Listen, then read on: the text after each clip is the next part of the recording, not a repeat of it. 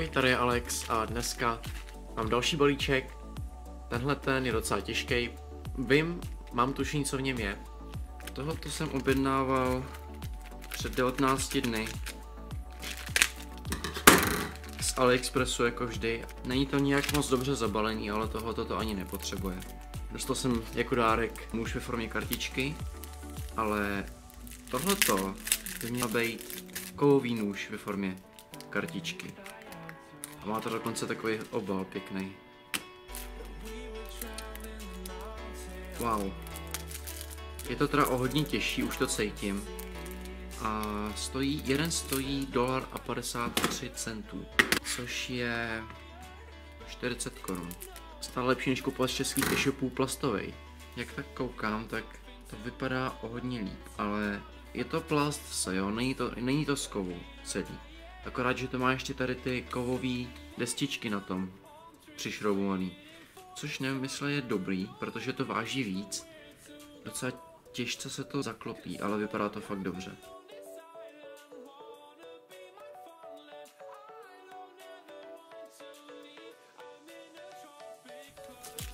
Můžu zkusit oříznout kus papíru jako minule. Teď já mám vzadu nohama.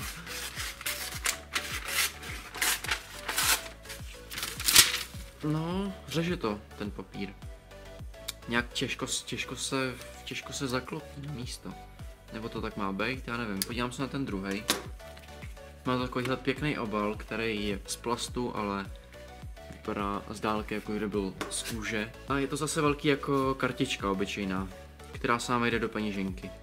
V čemž je největší výhoda, že si to máte, že máte vždycky při sobě nůž kdykoliv potřebujete něco uříznout, tak si to vytáhnete a máte prostě muž, tentokrát už trošku kvalitnější, protože se jen tak neohne.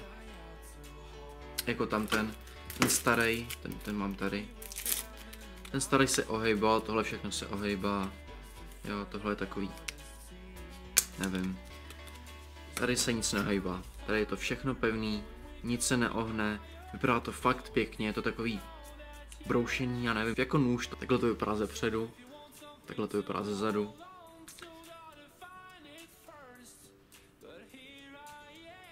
Není to zase tak ostrý, jo, což nevím. Je to ostrý, ale není to ostrý jako nějaký keramický nůž třeba. Nebo nůž, já nevím, který koupíte do kuchyně od Tescomy a tak. To ne. Je to trošku tupší, ale stojí to dolar a půl, tak, tak co. Tady mám další nůž, úplně stejný. Já se chci podívat, jestli bude lehčí ho zacvaknout, protože tam ten bylo docela těžký zacvaknout. Jo, zase máme pojistku, to uvolníme, zaklopím.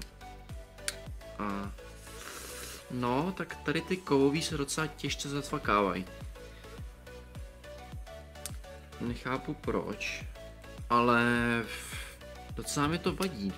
Tohle to je plastový, ale za to je to o hodně lehčí a tohle bych si dal do peněženky radši asi než tohle, protože tohle je za prvý činění. Jediný co udělali je vzali ten starý nůž a nalepili na to ty kovové destičky, což jako jo dobrý, ale je to tluščí a je to těžší, takže budete z toho mít tluščí peněženku. Když to tohle to postačí, podle mě, já nevím, uříznout si jabko nebo přeřezat nějaký provázek, určitě stačí. Tohle, jo, dobrý, jako nalepili jste na to, nebo ne nalepili, přišrobili jste k tomu ty destičky, teď je to fakt o hodně pevnější, ale ztrácíte ten smysl té mobilnosti a to, že to máte úplně všude při sobě, protože je to tluščí a je to těžší. Takže tak, Mám z toho radost, ale do peněženky bych si to nedal. To je pro tohle video všechno. Eh, pokud se vám to líbilo, tak můžete dát like, můžete nám psat komentář, přihlásit se k odběru, protože tady mám další spoustu těch mojich balíčků, který rozbalím již brzy. A to je pro teď všechno. Mějte se krásně, ahoj.